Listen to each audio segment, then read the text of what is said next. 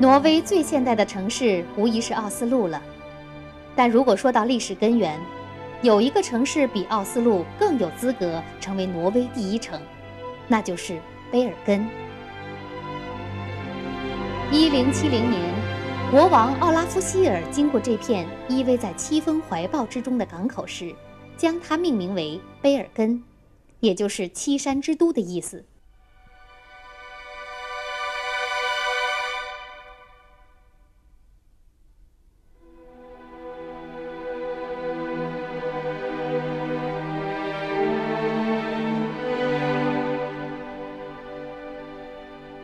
卑尔根始建于十一世纪，十三世纪成为挪威最早的首都。中世纪建筑在城中随处可见，特别是码头边的鱼市，吸引着众多慕名而来的游客。从每天早上五点开始，码头就开始摆出一排排摊子。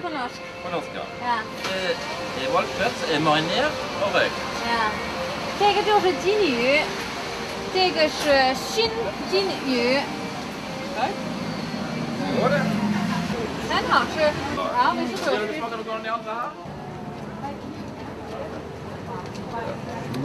这个是鱼子蛋。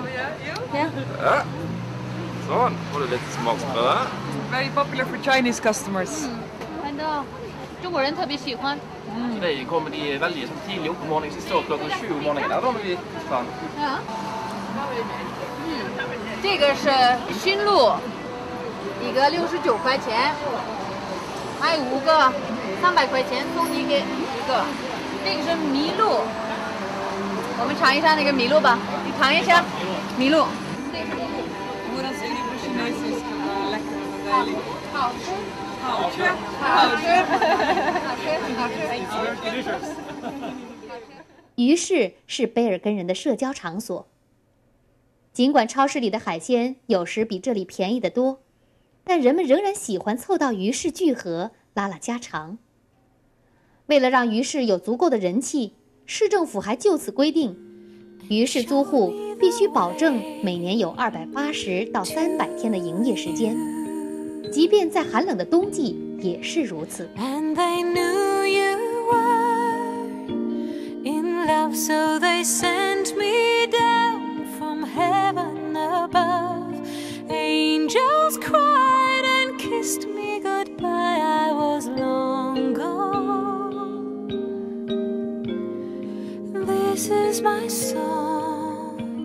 中世纪，威尔根是著名的贸易枢纽。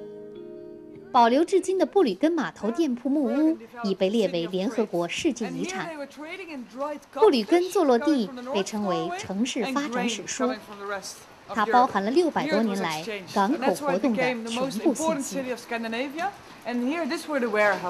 在中世纪，贝尔根在这里那个发展成一个很重要的一个欧洲那个和北欧最重要的那个贸易呃城市。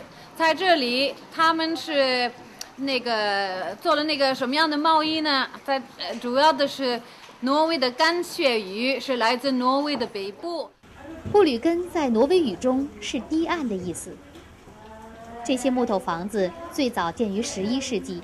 从中世纪到现在，布吕根这个整个这个贸易地区，呃，它是十次被烧掉了，但是每次在同一个呃建设方式，呃，是来重新建建起来的。